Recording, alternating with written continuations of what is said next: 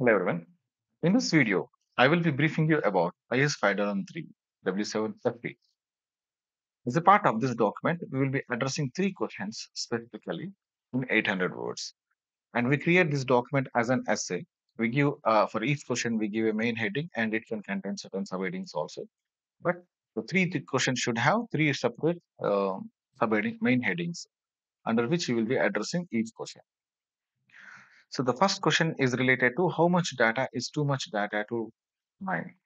See, usually any information system you take, if you take certain system for uh, data mining purpose, so it will be having uh, certain limits. Okay, you take uh, different types of data mining systems, and each data mining system will have certain limit to uh, explore the data.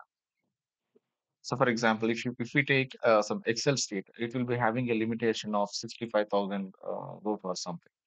Um, if if we take more than that, it will be difficult for us to perform analysis. So similarly, you take uh, any data mining systems and uh, try to identify what, what kind of limitations they have.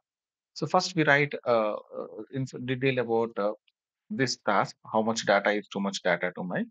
Theoretically, we try to explain uh, about the data data size and its efficiency in providing results, data analysis, conducting data analysis, and getting more accurate uh. Related to that, we discuss certain uh, information After that, we try to mention certain data mining system, a particular data mining system. You can cross check in internet and you will find certain data mining systems and their limitations in using the data. Okay, so uh, this section should be uh, completed in 250 to 300 words. So make sure you finish that effectively. Next one is related to Tableau. Uh, Tableau. Tableau is a data visualization tool that we mostly use to create dashboards and uh, data visualization diagrams, cross check about it online, and uh, so just uh, discuss like uh, how mapping capabilities help uh, Tableau to provide a better information. So maybe like whatever the mapping we do, usually it establishes relationship between two to three uh, columns or we, call, we say variables in the data given data. So just cross check related to this one. You will understand because mapping capabilities means there will be certain columns uh, in each uh, data set that we provide. We call them variables.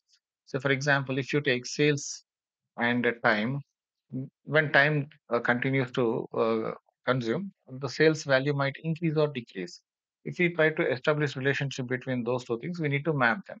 Okay, in that way. So anyhow, we just cross check Tableau mapping capabilities and how that will be uh, helpful uh, for uh, certain examples what are given there. Okay, so make sure you discuss about them. Tableau is a data visualization tool.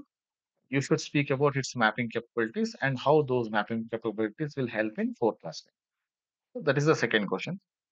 The final question, you should take uh, different types of uh, analytics that we conduct, maybe predictive analytics, descriptive analytics, like that. So there will be different types of analytics. Uh, Just internet, like look into internet you will find certain uh, types of uh, analytics.